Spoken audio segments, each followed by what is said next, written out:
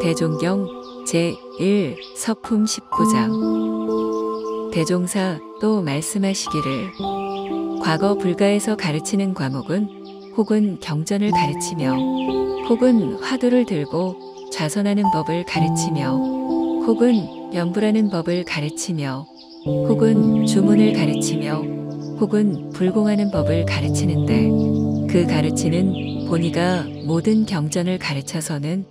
불교에 대한 교리나 제도나 역사를 알리기 위함이요. 화두를 들려서 좌선을 시키는 것은 경전으로 가르치기도 어렵고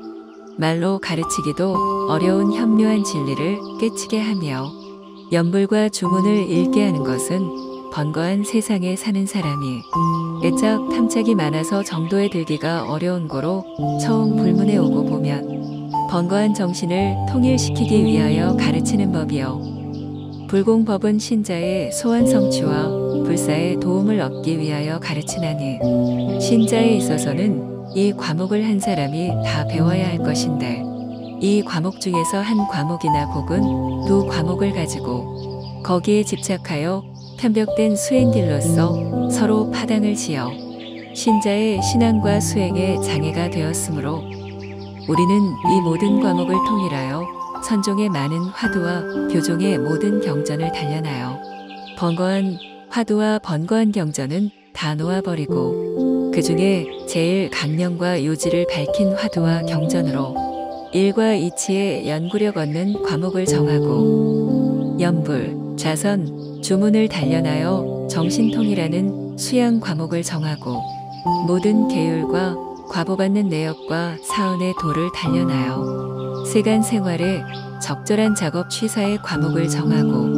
모든 신자로 하여금 이 3대 과목을 병진하게 하였으니 연구 과목을 단련하여서는 부처님과 같이 이무에 사무에 하는 연구력을 얻게 하며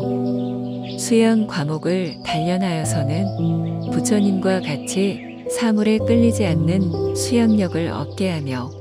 취사 과목을 단련하여서는 부처님과 같이 불의와 정의를 분석하고 실행하는데 취사력을 얻게 하여 이 3대력으로서 일상생활에 불공하는 자료를 삼아 모든 서원을 달성하는 원동력을 삼게 하면 교리가 자연 통일될 것이요 신자의 수행도 또한 원만하게 될 것이니라.